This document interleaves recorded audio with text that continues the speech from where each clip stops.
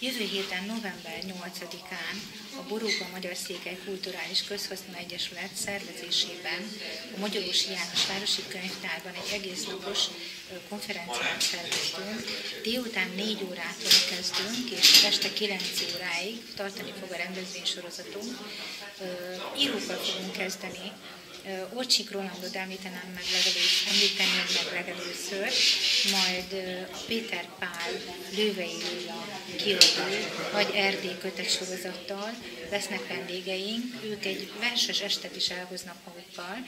A kötetben szereplő versekből egy összeállítást fogunk hallani, egy színésznő közreműködésével. Majd Fodor György tanár úr fog nekünk a székely nyelv és nyelvjárásról egy kis betekintést mutatni, és a konferencia programsorozatunk záró estje lesz, Fekete Vincével egy beszélgetés a Gyulai Vár Színházban, majd a Kézdivásárhelyi Városi Színház által rendezett dolgokról, vagy földi szellemnek Mácsafej zenekar és Kolcsár József estje, Kolcsár József rendezésében. A színházi est után pedig a konferencia résztvevőinek egy állófogadást fogunk szervezni és megtartani.